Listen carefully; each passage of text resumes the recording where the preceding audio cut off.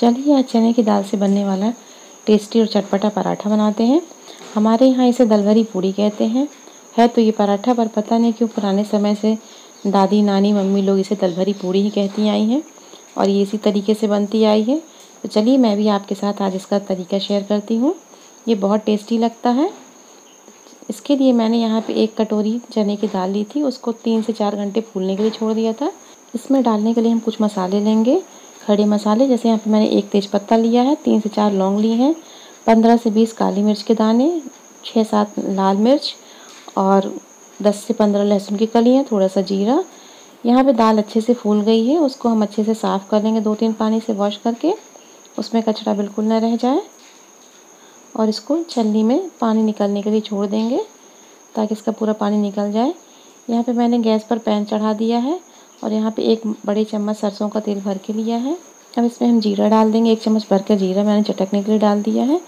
उसी के साथ हम लहसुन डाल देंगे। लहसुन को मैंने यहाँ खड़ा रखा है, काटा नहीं है, क्योंकि बाद में इन सबको हम पीसेंगे।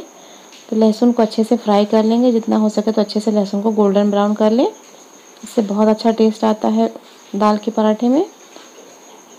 लहसुन जैसे फ्राई हो जाएगा अच्छे से।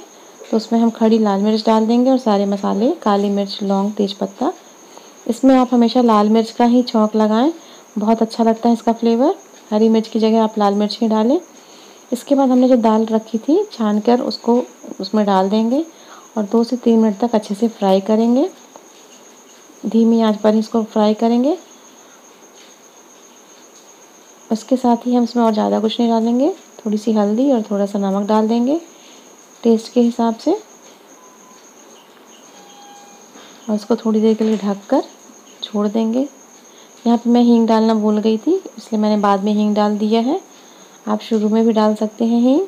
इससे बहुत अच्छा टेस्ट रहता है और दाल का जो भारीपन रहता है, वो थोड़ा हल्का रहता है। गैस वगैरह नहीं बनती है, हींग ज़रूर डालें इसमें। इस तरह से हम इसको थोड़ी देर चलाकर, थोड़ी देर के लिए ढक देंगे। दाल जितनी अच्छी फूली रहेगी तो उतनी जल्दी ही बनेगी। कई लोग इस पूड़ी को उबाल कर भी बनाते हैं चने की दाल को, लेकिन मैंने यहाँ पे फ्राई करके बताया है। ये दोनों तरीके से बनती है और बहुत अच्छी लगती है। इसको बिल्कुल धीमी आँच पर हम दो से चार मिनट के लिए इस तरह से पकाएँगे पहले।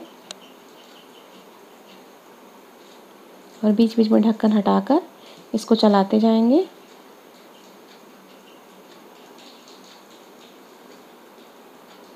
और थोड़ी देर बाद हम इसमें एक कप के करीब पानी डाल देंगे। ज़्यादा पानी नहीं डालना है इसमें, क्योंकि दाल पहले से ही फूली है तो सॉफ्ट है। बस दाल अच्छे से और सॉफ्ट हो जाए, इतना ही पानी डालेंगे। यहाँ मैंने एक कप के करीब पानी डाला है और फिर इसको ढककर धीमी आँच पर 10 से 15 मिनट के लिए छोड़ देंगे। थोड़ी देर बाद हम ढक्कन हटा के देखेंगे तो पानी अच्छे से सूख गया है और दाल अच्छे से पक गई है इसमें। इस तरह से बनाने में जो इसका पूरन बनता है, बहुत टेस्टी लगता है। एक सौंधापन रहता है उसमें। धीमी आँच पर इसको हम चला, उलट पलट कर चलाते जाएँगे। और थोड़ी सी दाल के दाने को दबा के इस तरह से आप देख लीजिए। दाल अच्छे से सॉफ्ट हो जानी चाहिए। अब बस हम गैस की फ्लेम को बंद कर देंगे। और इसको अलग निकालेंगे बर्तन में ठंडा होने के लिए। थोड़ी देर में अच्छे से ठंडी हो जाएगी। हमें पूरी तरह से इसको ठंडा भी नहीं करना है, हल्की गर्म रहेगी तभी हम इसको पीसेंगे। इसमें से मैंने तेज पत्ता अलग कर दिया है, बाकी मसाले इसी में डले हैं। अब इसको थोड़ा थोड़ा कर कर हम पीस लेंगे।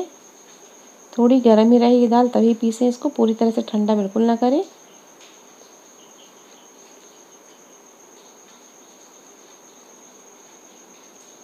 इसमें हमें पानी का यूज़ बिल्कुल नहीं करना है, बस इसी तरह से रुक रुक कर हम इसको पीस लेंगे। और एक सूखा पाउडर तैयार कर लेंगे चने की दाल का।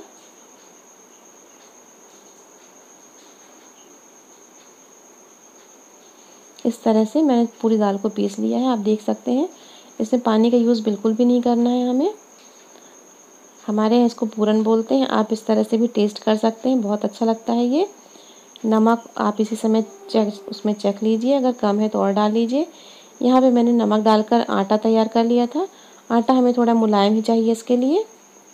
और इसमें हम इस पाउडर को भरेंगे चने के पाउडर को। थोड़ा थोड़ा इस तरह से दबा के।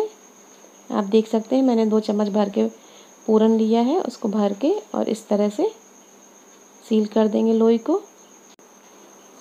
इसको हाथों की सहायता से इस तरह से बढ़ा लेंगे। इसको बहुत हल्के हाथ से करें, नहीं तो कई बार बेलते समय इसका पेस्ट जो है निकल आता है पूरन, बाहर निकल आता है, बिल्कुल हल्के हल्के हाथ से हमें इसको पूरी को बढ़ाना है। और जितना पतला हो सके आप बेलिए, मैंने तो ज़्यादा पतला नहीं किया है। मम्मी लोग पहले बहुत ही पतला बेलती थी इसको, लेकिन मुझसे उतना अच्छा नहीं बनता। मैंने इसको पराठे जैसा ही थोड़ा सा मीडियम रखा है। बस इसको एक तरफ़ से हमें अच्छे से जब सीख जाएगा तो पलट लेंगे। इसमें आप जो चाहें लगा सकते हैं, तेल, घी मक्खन। लेकिन ज़्यादातर ये तेल में ही बना कर रखिए तो बहुत अच्छा लगता है। बहुत सॉफ्ट रहते हैं ये पराठे और इन्हें हमें ज़्यादा खरा नहीं सेकना है। बस ऐसे हल्का हल्का ऑयल लगाकर हाई मीडियम फ्लेम पर ही इसको हम सेकेंगे। इस तरह से आप चारों तरफ़ ऑयल लगाकर और घुमा घुमा कर सेक लें। आप देख सकते हैं कितना अच्छा पराठा फूल गया है। बस हमें इसके दूसरे साइड से भी पलट कर इसी तरह से सेक लेंगे। ये पराठे बहुत ही टेस्टी लगते हैं और इनको आप अगले दिन भी खाते हैं तो भी बहुत अच्छे लगते हैं। आप इनको एक दिन दो दिन स्टोर कर सकते हैं ठंड के मौसम में। और गर्मियों में भी एक दिन दो दिन खा सकते हैं। बहुत अच्छे लगते हैं, ठंडे भी बहुत टेस्टी लगते हैं। और पूरी इस तरह से हमने सारे पराठे तैयार कर लिए चलिए इसके साथ खाने के लिए हम गुराम तैयार करते हैं। गर्मियों के मौसम में तो ये आम से ही बनाया जाता है गुराम। लेकिन इस समय बारिश का मौसम है तो मैंने करौंदे से गुराम बनाया है। इसका मीठा शीरा बनाएँगे, बहुत ही टेस्टी लगता है।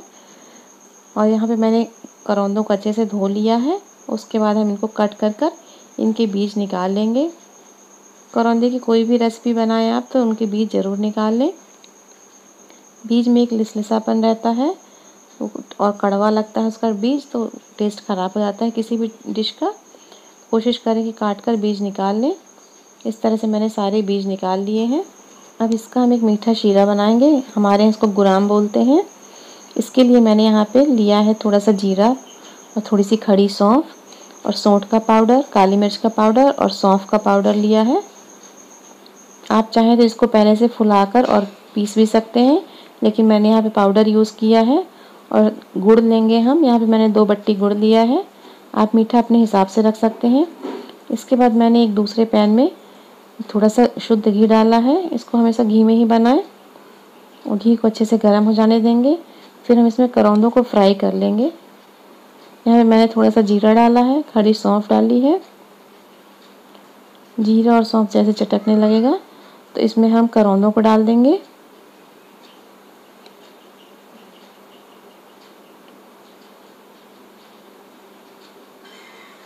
और करौंदे को अच्छे से फ्राई कर लेंगे। लो, मीडियम फ्लेम पे ही इनको अच्छे से धीमे धीमे आँच में फ्राई कर जाए, ताकि करौंदे अच्छे से सॉफ्ट हो जाएँ। थोड़ी देर में आप देख सकते हैं करौंदों का कलर चेंज हो गया है और करौंदा सॉफ्ट हो गया है। थोड़ी देर हम इसको और पकाएँगे। बस करौंदे अच्छे सॉफ्ट हो गए, अब इसको हम निकाल लेंगे दूसरे बर्तन में।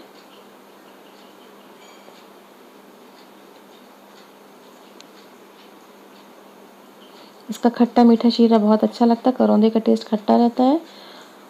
बहुत ही अच्छा लगता है पूड़ी के साथ। इसके बाद मैंने यहाँ पे डेढ़ गिलास पानी डाल दिया है सेम पैन में। और उसको हम अच्छे से गर्म कर लेंगे पानी को, और इसमें जो हमने गुड़ लिया है उसको डाल देंगे।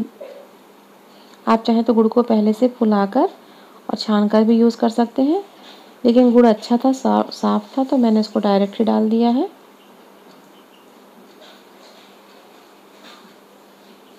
गुड़ को अच्छे से पिघलने देंगे। यहाँ पे आप देख सकते हैं, गुड़ पूरी तरह से पिघल गया है और पानी में भी अच्छे से उबाल आ गया है।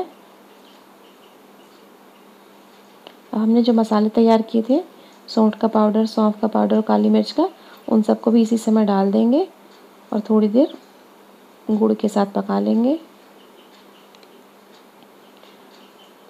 इस समय फ्लेम हाई कर देंगे ताकि गुड़ का अच्छे से शीरा मिक्स हो जाए और थोड़ा सा गाढ़ा हो जाए। पानी अच्छे से पक जाए इसका। इस तरह से शीरा बना के आप रोटी पराठे के साथ भी इंजॉय कर सकते हैं। और ठंडियों में या आप तीन से चार दिन तक इसको रख लें, बिल्कुल ख़राब नहीं होता है। किसी भी रोटी के साथ, पराठे के साथ इंजॉय कर सकते हैं। बहुत टेस्टी लगता है खट्टा मीठा। अब जब खूब अच्छे से पानी में उबाल आ जाएगा तो हम इसमें करौंदे भी डाल देंगे और थोड़ी देर करौंदों को भी गुड़ के शीरे के साथ पका लेंगे।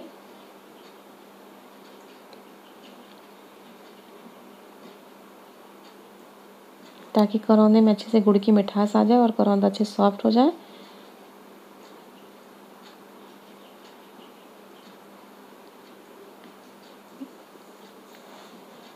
गर्मियों में यही चीज़ हम आम के साथ, कच्चे आम के साथ बनाते हैं, वो भी बहुत अच्छा लगता है। जैसे हमने करौंदों को फ्राई किया है, आप आम को फ्राई कर कर और इस तरह से बना कर रख सकते हैं, बहुत अच्छा लगता है। थोड़ी देर में थोड़ा सा दबा के करौंदों को देख लेंगे कि सॉफ्ट हो गए हैं कि नहीं। बस करौंदे थोड़े अच्छे से मुलायम हो जाने चाहिए। अब शीरा अच्छे से पक गया है। इसे हम ज़्यादा गाढ़ा नहीं करेंगे, थोड़ा पतला ही रखेंगे। और गैस की फ्लेम बंद कर दी है मैंने यहाँ पे। थोड़ी देर इसको ढक के छोड़ देंगे। थोड़ा सा ठंडा हो जाएगा तो बस हम इसको सर्व करेंगे।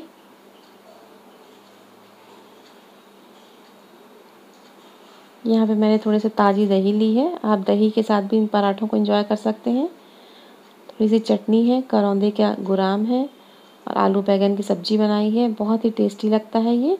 एक बार आप ज़रूर इस तरह से चने दाल के पराठे बना के ट्राई करिए। अगर आप करौंदे का गुराम नहीं बना सकते तो दही के साथ, सब्ज़ी के साथ इसको खाइए। बहुत अच्छा लगता है। इस तरह से आप नाश्ते में बना सकते हैं। बच्चों को टिफ़िन में भी दे सकते हैं। बहुत हेल्दी है। और इसको सफ़र में भी आप ले जा सकते हैं। बस इस चीज़ का ध्यान रखें कि दाल अच्छे से पकी होनी चाहिए। अगर आपको इस चने की दाल की रेसिपी अच्छी लगी है, पराठों की तो आप प्लीज़ मेरे चैनल को लाइक करिए सब्सक्राइब करिए।